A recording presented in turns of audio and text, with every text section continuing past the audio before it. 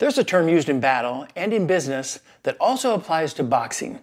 It's called a decisive point.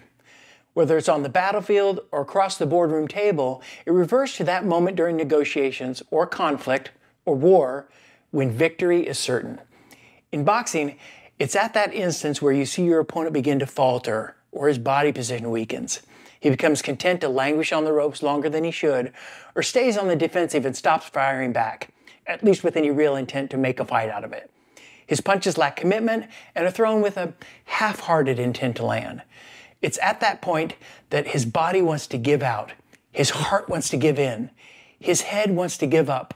The only thing that's keeping him hanging in there is a thin thread of pride. The question then is does he quit or do you cut that thread? That's the decisive point in the ring. That's also the time to step on the gas and turn up the heat. When the 10 seconds of the round are sounded, pour on the pressure and send your opponent back to his corner with a little more of an excuse to not come back out for the next round. Deep down, he wants a definitive reason to call it a night. If you learn to recognize when the breaking point has come, you can cut the festivities short and make it a little easier on both of you. That's also the time when your killer instinct has to kick in. You shouldn't be content to coast to a win, even if it's largely uncontested. You can't make a silent agreement with your opponent to change the fight into a sparring session. First of all, the fans expect more.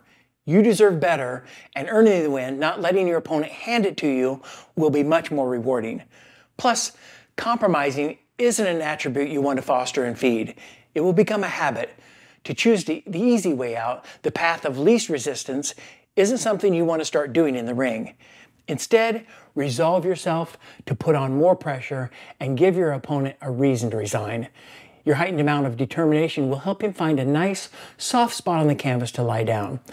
The decisive point is a moment in combat where your opponent determines to find a way to lose with dignity, and the moment in time you need to decide to be the fighter who doesn't compromise victory.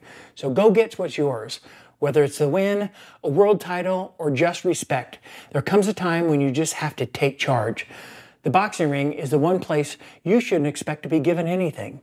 You can't expect to be handed a win, earn a decision, or be awarded a victory.